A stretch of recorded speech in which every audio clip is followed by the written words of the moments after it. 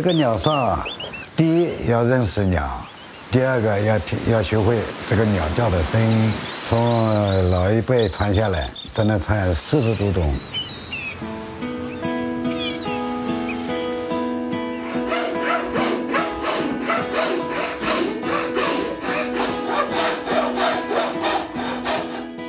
今年我已经有五十八岁，就是做这个鸟哨啊，从十几岁开始学。做这个鸟哨，我们要用这个本地翠竹。这个鸟哨呢，你看上去很简单，做起来比较复杂。我做了几次都是失败的，有多次研究才做成功的。竹子是很很薄的，要把成一分两半，这是最关键的。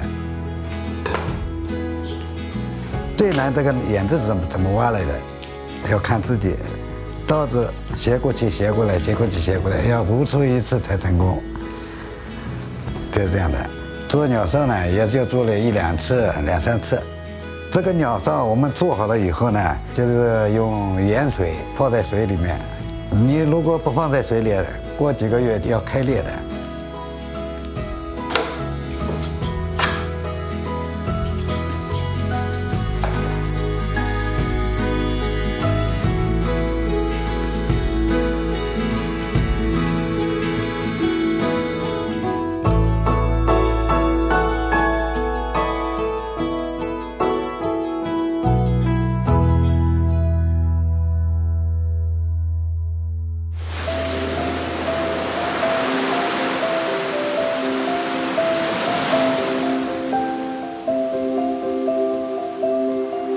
十几岁就跟着爷爷、父亲就在海边捕鸟。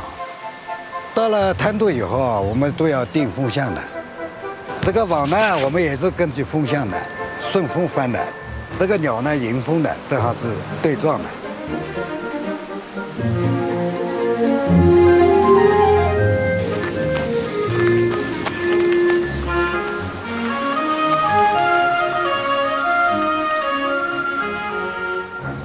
在四月份的时候，有一部分的鸟从这里经过。潮水去的时候呢，这个地方有吃的。鸟沙滩上的那个小螺丝啊，还有那个沙蟹啊，就是很小很小的在水里面活动的虫子啊。所以我们掌握它的规律，才这样捕鸟的。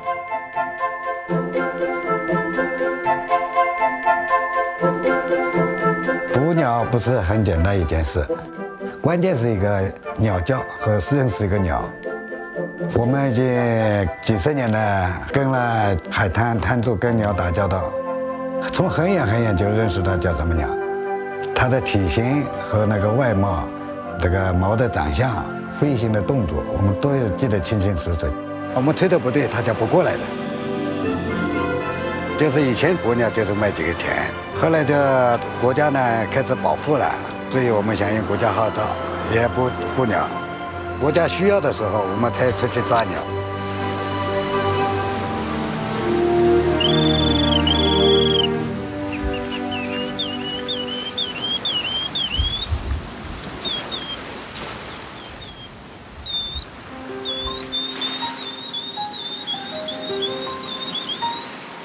今年七十岁，就是。八岁开始也跟我父亲学鸟叫，为了保护这个鸟类，叶老师两个人呢，到这个海边观察这个鸟。我们回来以后呢，给我们这个学生上课的时候，我们也给他们讲。小朋友呢也挺感兴趣。